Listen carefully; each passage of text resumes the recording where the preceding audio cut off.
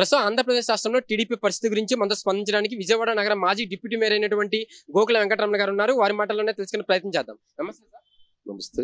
చెప్పండి అధికార పార్టీ సామాజిక చైతన్య బస్ యాత్ర అంటూ చేశారు. విజయవంతమైందంటూ కూడా అధికార పార్టీ వర్గాలు చెప్తున్నాయి. మరి మీరు తెలుగుదేశం నాయకులుగా విజయవంతమైందని భావిస్తున్నారా లేదంటే ఫెయిల్ అయిందని భావిస్తున్నారా? వైఎస్ఆర్సిపి పార్టీ వాళ్ళు ఏది కూడా నిజాలు చెప్పరు.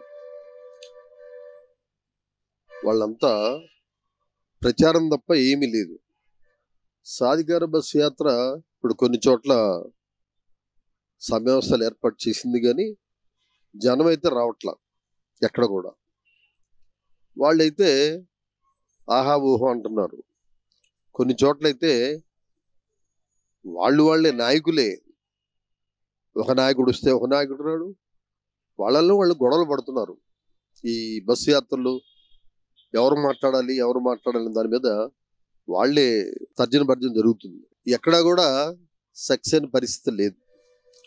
అలాగే వైఎస్ఆర్సీపీ పార్టీ చెప్తుంది నూటికి నూట డెబ్బై ఐదుకు నూట డెబ్బై ఐదు సీట్లు గెలుస్తాం అంటున్నారు.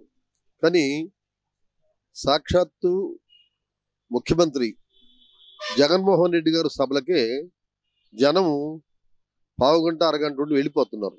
అది పరిస్థితి ఇవాళ రాష్ట్రంలో జరుగుతున్న పరిస్థితి. కాబట్టి వాళ్ళు చెప్పిన దాంట్లో ఏమాత్రం నిజం లేదు.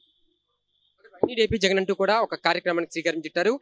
జగన్మోహన్ రెడ్డి రాష్ట్రానికి కావాలంటూ కూడా. మరి ఏం చెప్తారు సార్ దీనికి? జగన్మోహన్ రెడ్డి గారు కావాలి అని ఎవరంటున్నారు? మీరే అంటున్నారు. మీరు ప్రచారం చేసుకుంటున్నారు. వైఎస్ఆర్సిపి పార్టీ కార్యకర్తలు నాయకులు ఎవరో ప్రచారం చేసుకుంటున్నారు. ఎందుకు మీరు కావాలి? ఈ రాష్ట్రానికి పది లక్షల కోట్లు అప్పులు తెచ్చారు. దానికి రావాలా మీరు? ఇసుక. ఆ? ఇవాళ దారుణమైన రేట్లు పెంచి అమ్ముకుంటున్నారు.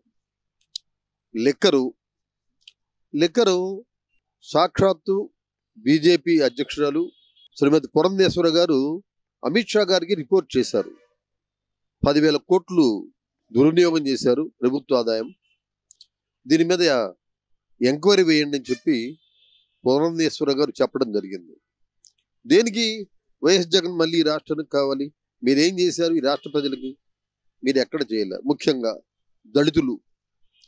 రోజుకు ఒక చోట ఒక నియోజకవర్గంలో ఒక దళితుడిని కొట్టడము పోలీస్ స్టేషన్ లాక్కేయటము లేకపోతే దౌర్జన్యాలు చేయటము ఇలాంటివి చేస్తున్నారు దళితుడిని మీరేమో సభల్లో దళితులు దళితులు అంటారు. కానీ ఎక్కడ? ఈ దళితుల మీద దౌర్జన్యాలు ఎక్కడ ఆగల. కంటిన్యూగా జరుగుతూనే ఉన్నాయి. మీరేం మీరు ఏం చేస్తే ఏం చేశారు? ఎవరికి ఏం చేశారు మీరు కావాలని కోరుకోవడానికి ఎక్కడైనా ఈ రాష్ట్రంలో అభివృద్ధి అనే మాటకు అర్థం ఉందా? ఎక్కడా అభివృద్ధి లేదు. మరి ఎందుకు మీరు కో- జగన్మోహన్ రెడ్డిని కావాలని ప్రజలు కోరుకుంటారు? అది మీరు ప్రచారం చేసుకుంటున్నారు అంతే. రోజుకి కూడా టీడీపీ పార్టీ దిగజారిపోతుంది. అంటే తన యొక్క ఉనికిని కూడా కోల్పోతుందంటూ అధికార పార్టీ నాయకులు అంటున్నారు. రాబోయే రోజుల్లో ఖచ్చితంగా నూట డెబ్బై ఐదు నియోజకవర్గాలు కూడా గెలిచి తీరుతామంట. తెలుగుదేశం పార్టీ ఇవాళ చంద్రబాబు నాయుడు మరలా ముఖ్యమంత్రి కావాలి అని ప్రజలందరూ కోరుకుంటున్నారు. సాక్షాత్తు అన్ని వర్గాలు ఎస్సీ ఎస్టీ బీసీ మైనార్టీ అన్ని వర్గాలు కూడా మళ్ళీ చంద్రబాబు నాయుడు గారు వస్తేనే ఈ రాష్ట్రం బాగుపడుతుంది. యువత యువకులకు ఉద్యోగాలు వస్తాయి. ఈ రాష్ట్రం అభివృద్ధి చెందుతుంది.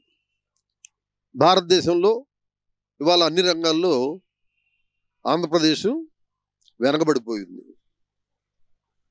భారతదేశంలో గతంలో బీహార్లో చాలా చాలా దౌర్జన్యాలు ఇలాంటివి జరిగాయి. ఇవాళ ఆంధ్రప్రదేశ్ ఎక్కువైపోయినాయి. అలాగే గంజాయి. గంజాయి తయారు చేసే రాష్ట్రంగా తయారు చేశారు ఈ రాష్ట్రాన్ని.